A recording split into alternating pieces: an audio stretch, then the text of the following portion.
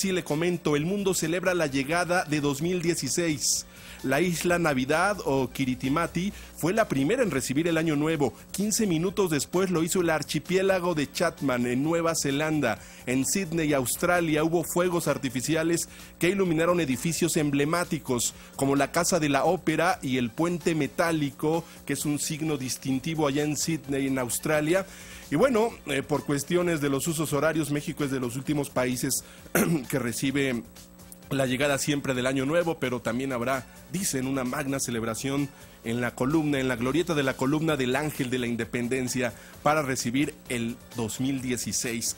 Otros países como Japón, Corea del Norte y Corea del Sur, Indonesia, Vietnam, Bangladesh, también Camboya, ya dieron la bienvenida al año nuevo. También, por supuesto, China, el gigante asiático, ya recibió al año nuevo que está llegando desde aquel el lejano oriente ya pasando por el centro de Asia de acuerdo con los usos horarios